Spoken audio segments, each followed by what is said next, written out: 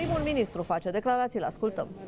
Nu mă sperie declarațiile PSD. Dacă PSD Cum va nu mă sperie tergiversa- PSD? Dacă PSD va tergiversa o numire a celui de-al doilea premier, un vot în Parlament, luați în calcul să mergeți la Curtea Constituțională? Deci, obiectivul nostru în momentul în care am decis angajarea răspunderii guvernului pe legea alegerii primarilor în două tururi este acela ca alegerile locale să se desfășoare în două tururi și să dăm dreptul cetățenilor din fiecare comunitate locală să aleagă primari reprezentativi, primari legitimi, care să asigure dezvoltarea comunităților locale. Asta este obiectivul nostru. Orice altă întrebare îmi puneți, o să discutăm pe orice subiect, dar doar în momentul în care vom avea despre ce să discutăm. Nu facem, premier, nu într-o facem, înțelegere nu cu facem Partidul scenarii, Social-Democrat nu facem pentru scenarii de moțiune. science fiction. Ce m-ați întrebat? Dacă a întrebat, a fost vreo înțe- o înțelegere cu Partidul Social-Democrat pentru moțiunea de cenzură, vă Dar bazați răspunsul la această întrebare este cea mai gogonată minciună pe care am auzit-o și chiar dumneavoastră să-mi puneți întrebarea asta știind foarte bine că Partidul Național Liberal de când am fost ales președinte este într-un război total cu PSD, că am dat jos guvernul PSD, că am investit fără votul PSD și fără nicio înțelegere cu nimeni uh, din conducerea PSD guvernul nostru, că am câștigat alegerile prezidențiale în care am zdrobit candidatul PSD. Dumneavoastră mă întrebați pe mine dacă am vreo înțelegere cu PSD. N-am nicio înțelegere. E o minciună gogonată care probabil e inventată tot de psd ca să-și dea curaj uh, la negocieri să dezinformeze probabil pe fraiere cu care își imaginează ei că pot să-i convingă să voteze împotriva guvernului PNL. Domnul premier, ați moțiunea de cenzură. Veți adopta ordonanța prin care se revine la alegerea președinților de consilii județene din rândul consilierilor? Este un proiect de act normativ uh, care a fost inițiat de Ministerul Dezvoltării. Este în curs de avizare în funcție de uh, derularea procedurii. Vom lua decizia corectă. Domnul premier, a spus de mai multe ori că vă doriți alegeri anticipate. Dacă nu trece această moțiune, luați în calcul să demisionați? Am spus că cel mai bine pentru România ar fi ca Parlamentul să fie oglinda fidelă a voinței actuale a cetățenilor și guvernul să aibă un sprijin parlamentar stabil, coerent, care să suporte marile reforme care trebuie realizate în România pentru a readuce România pe drumul cel bun. Pe de altă parte, noi ca și guvern avem ca obiectiv realizarea programului de guvernare pentru care Parlamentul, mă rog, cei 140 de parlamentari, ne-au acordat votul. Dacă măsurile care le adoptăm îi enervează foarte tare pe PSD și pe alți parlamentari, ei pot să ne dea jos. Singurul lucru pe care noi l-am stabilit clar și pe care vi l-am mai spus de mai multe ori este acela că, în cazul în care se strânge o majoritate contrareformistă, antidemocratică și împotriva reformelor economice și a orientării strategice pe care uh, o dă actualul guvern, adică noi, dacă se va strânge o majoritate, cu certitudine Partidul Național Liberal va a luat deja și practic parlamentarii PNL nu vor vota investirea niciunui guvern astfel încât să ajungă la anticipat. Ce puteți forma majoritatea aceasta? Pe ce partide vă bazați?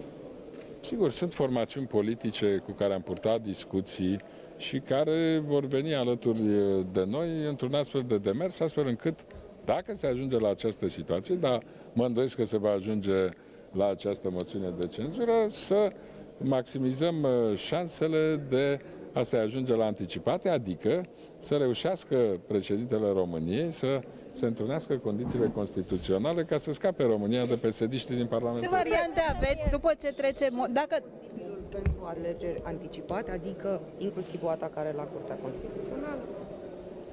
Haideți să nu vindem pielea ursului din pădure, uh, vom vedea cum evoluează lucrurile. Deocamdată, Partidul Național Liberal și Guvernul PNL și-a angajat răspunderea pentru a asigura alegerea primarilor în două tururi. Vom vedea, vom vedea Ce- ce în ceea ce variantă- ne privește am luat decizia clară, ca atât la nivelul conducerii, cât și la nivelul conducerii grupurilor parlamentare, dar și parlamentarii individuali să fie implicați activ în discuții, negocieri cu ceilalți parlamentari, pentru a-i convinge să nu se lase ademeniți uh, de uh, cântecele de sirenă ale PSD-ului și pentru a împiedica uh, obținerea unei majorități la actuala moțiune. Ce de variantă cenzură. aveți, domnul premier? Domnul premier, ce Senat variantă veți avea un aveți? candidat comun cu USR, USR va avea candidat propriu. În E- ceea ce ne privește, pe noi, Partidul Național Liberal a luat decizia să sprijine candidatura doamnei senator Alina Gorghiu. Sigur că urmează să se poartă discuții cu partenerii noștri pentru a fi definitivată cea mai bună soluție pentru uh,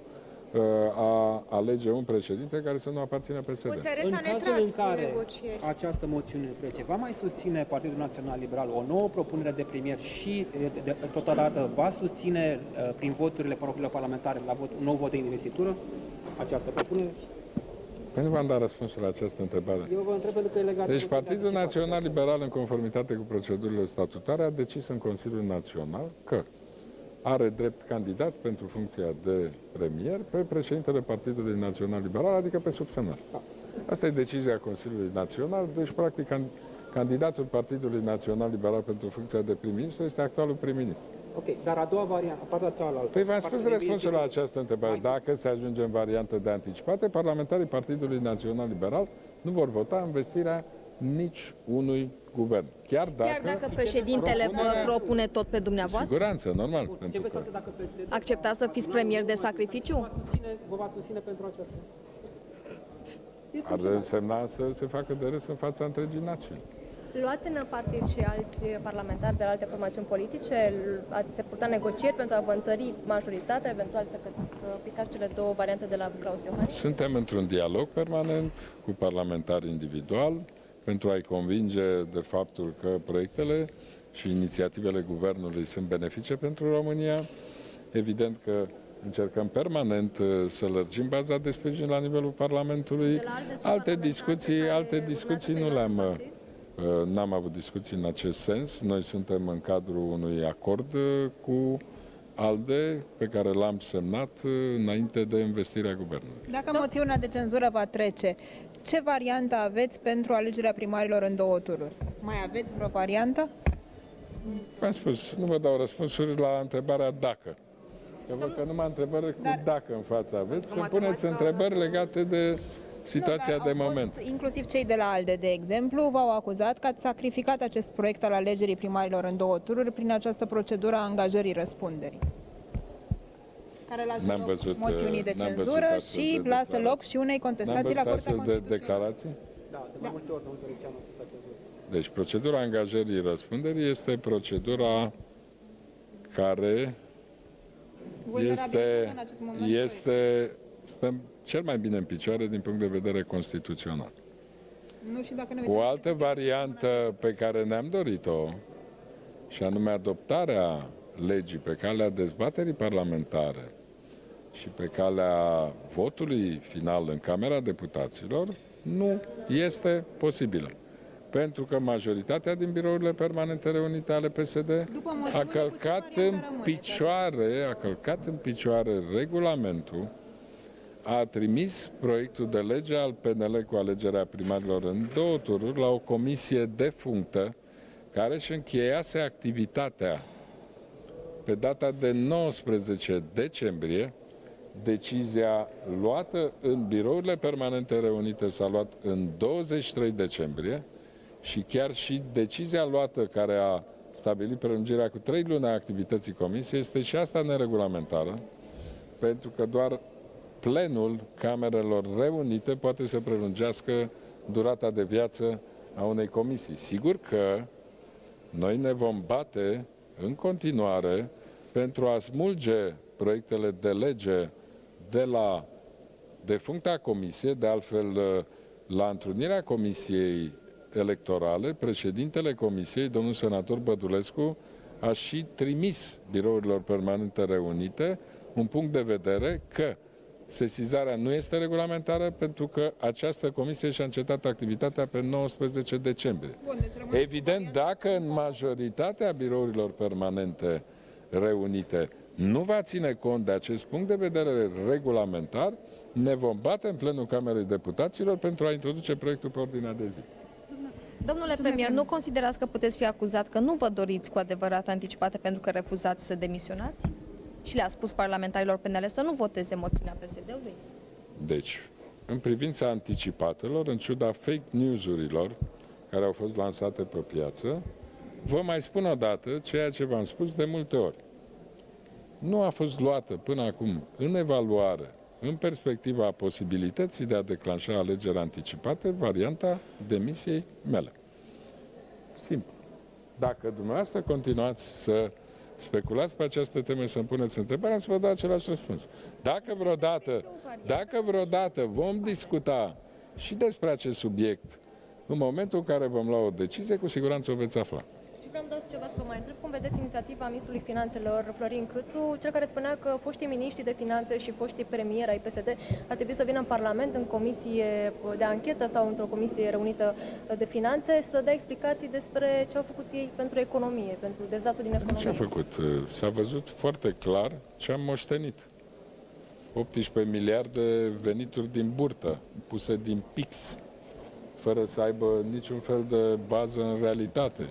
O mulțime de cheltuieli legale care ar fi trebuit realizate în conformitate cu legea, cu contractele, care au fost întârziate, blocate și pe care a trebuit uh, să le plătim noi, să facem noi față acestor cheltuieli. A fost o bătaie de joc fără margini, Uh, toată politica bugetară a României în ultimii trei ani de zile pentru că a provocat grave dezechilibre și uh, a pus în pericol economia României. Dacă Partidul Național Liberal nu ar fi revenit la guvernare și nu ar fi luat toate măsurile pe care le-am luat, de la rectificarea bugetară, adoptarea legii bugetului de stat și a legii bugetului asigurărilor sociale de stat, imaginea și credibilitatea României ar fi avut extrem de mult de suferit. Dar ar trebui o comisie de anchetă pentru că liberalii spuneau permanent că PSD cheamă miniștrii în Parlament doar ca să facă circ la tot felul de comisii de anchetă.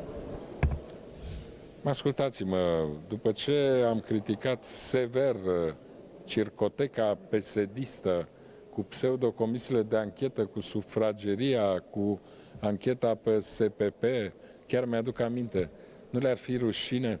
De ce au generat anchetă pe SPP? Au anunțat că miniștrii își uh, retrag uh, cererile, adică nu mai acceptă SPP și după aia când a început președinția Consiliului Uniunii Europene au fost obligați să accepte SPP-ul pentru că altfel nu exista posibilitatea exercitării în condiții de siguranță a președinției Consiliului Uniunii Europene. Deci după ce am criticat sever toate parodiile astea de comisii de anchetă, ar fi culmea să generăm și noi comisii de anchetă fără o fundamentare Uh, De altfel, vă spun, în actualul Parlament uh, uh, mai am foarte puține speranțe că se poate realiza un demers uh, concret. Cu președintele Claus Iohannis ați mai vorbit în ultima perioadă, mai ales Suntem despre într-un anticipate. dialog permanent, Ați mai vorbit despre comunicăm, anticipate cu șeful ne statului? consultăm cu președintele pe teme extrem de importante pentru România, Aveți cum vreo este, întâlnire în aceste zile, având cum în vedere este negocierea pe exercițiul financiar multianual pe 2021-2027. Probleme extrem de importante cum sunt uh, problema digitalizării României, problema Just Transition Fund, uh, ca urmare a adoptării obiectivelor Comisiei Europene. Și pe orice subiect extrem de important, ați văzut că am participat, Anticipatele sunt un am subiect. participat la prezentarea studiilor realizate împreună cu uh, OECD și cu reprezentanții Comisiei Europene și Băncii Mondiale. Suntem într-o colaborare extrem de apropiată. Ați discutat despre anticipate cu președintele Claus Iohannis în ultima Cu perioadă? siguranță că am discutat, cu siguranță că am convenit de comun acord că este cel mai bine pentru România ca cetățenii să primească puterea cât mai repede înapoi, să-și aleagă un parlament care să-i reprezinte cu adevărat. Domnule premier, Vă sunteți mulțumesc. mulțumit De, acti- de modul în care comunică miniștrii din cabinetul dumneavoastră? Foarte Sunt mulți colegi de mulțumit partid de se activitate. Plâng de acest Asta ați inventat dumneavoastră, că se plâng colegi de Au fost partid. declarații publice în Consiliul Național. La ce vă referiți? Reproșuri Eu venite sunt, și din- uh, eu sunt foarte mulțumit de activitatea miniștrilor din cabinetul pe care îl conduc. Sunt oameni corecți, sunt luați, sunt... Ascultați-mă, eu am evaluat uh, uh, într-o perioadă destul de lungă, sunt oameni uh, a căror uh, carieră, a căror background profesional este greu de pus uh, în uh, discuție. Sunt oameni corecți, oameni cinstiți, oameni muncitori, oameni care fac tot ce depinde de ei ca să fie realizat programul de guvernare și să îmbunătățească funcționarea domeniilor pe care le coordonează. Sunt foarte mulțumit de activitatea ministrilor. Nu mai puneți astfel de întrebări pentru că Ce fug de presă, este... domnule premier, dacă nu fuge nimeni de, de presă, funcționează... Eu greșesc da. că eu greșesc că stau oricât e nevoie, pe orice fel de întrebare, pe orice fel de subiect